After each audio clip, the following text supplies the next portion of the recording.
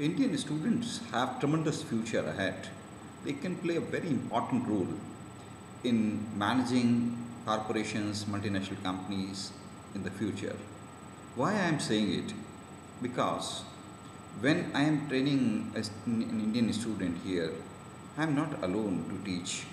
There's a lot that he has learned from Indian culture, Indian wisdom, Indian heritage, from his surroundings, which has built in him the spirit of tolerance, the ability to understand diversity, the ability to appreciate nature, the ability to appreciate uh, different ideologies.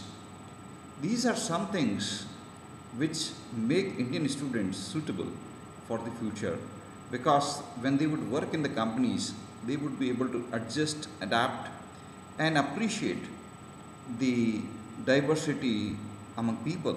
They would be able to understand that employees come from different backgrounds, different ideologies, and they would be able to appreciate them, understand them, respect them.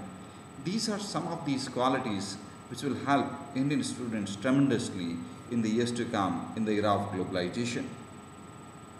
I belong to a very small city called Bikaner.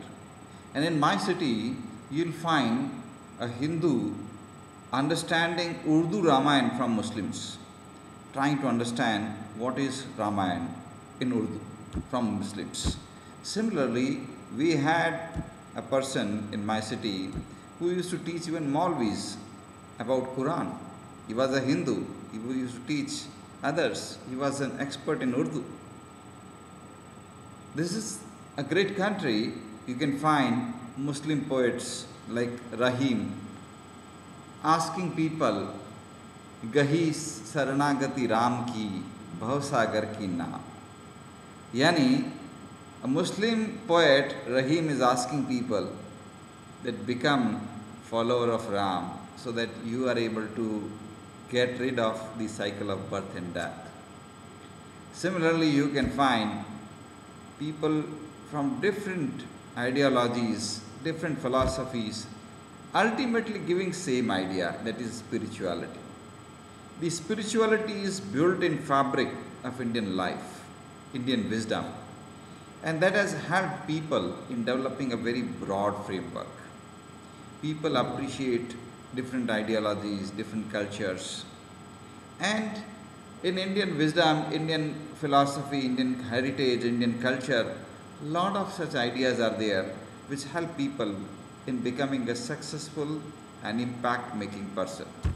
Now, by success, I am not talking about materialistic success. I am talking about a great leader. By success, I mean a person is able to become a good leader. And someone who is a good leader, a leader, someone who is able to connect well with the people. For example, simple slokas, doha, like Kabir's doha, so widely popular among masses. For example, ऐसी बानी बोलिए मन का आपा खोए औरन को शीतल करे आप हो शीतल होए। It means when you speak with a person you speak in such a way that you lose your ego you are able to connect well with others you are able to establish rapport with others you are able to establish unity with others this is a very powerful statement of kabir which was given some maybe about uh, 800 years back. Now, this statement is so powerful that it gives you understanding of life, communication, power of communication. What we cannot teach in business communication today has been told by Kabir. And there are many such statements which are spread out in Indian wisdom. And these are taught to the students in families, in societies. They have been you know, trained in these kinds of cultural environment. In fact, students coming from rural areas may not be very good in English, but don't judge them on their English. They are outstanding in all these things because they have been trained from childhood through some cultural program or through other means. They have been trained in Indian wisdom. They have been trained in Indian culture. They have been trained in Indian heritage. And that is their power. if you just judge them on the basis of their pronunciation, on the basis of their English, you are wrong. Judge them on the basis of their broader understanding. Judge them on their mind, mind horizon. You will find they are very tolerant, very uh, diversity loving people. They are adaptable, they are able to adjust in any situation. And these are the qualities that will make them great managers, great leaders. Wherever they will work, they'll be able to connect with people, they'll be able to develop people, they'll be able to transform people, transform the organization. So that's what organizations are looking for.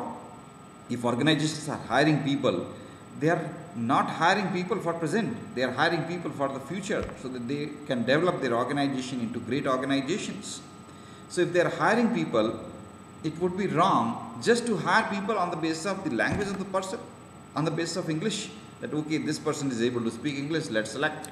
And this person is not able to speak in english therefore don't select that person that's not appropriate.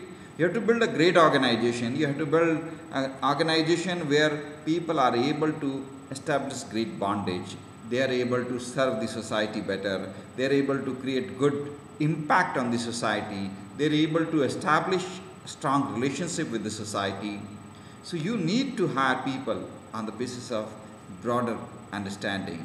And therefore, if you are hiring people in organization, look for Indian students, look for people coming from rural background in India because they are the people who have, who have been trained into Indian wisdom and that will help your company in development. If they don't know English, don't worry about it. It can be trained within three months, maximum six months. They would be able to speak in English that's not an issue. But the most important thing is they will be able to connect with people, they will be able to link with people, they will be able to appreciate diversity, they will be able to appreciate nature. You may be having employees coming from different countries, but if a person is coming from a rural Indian background, he would be able to appreciate all of them, adjust with all of them, and that will make a great leader for you that that person will take your company into a great future, into tomorrow.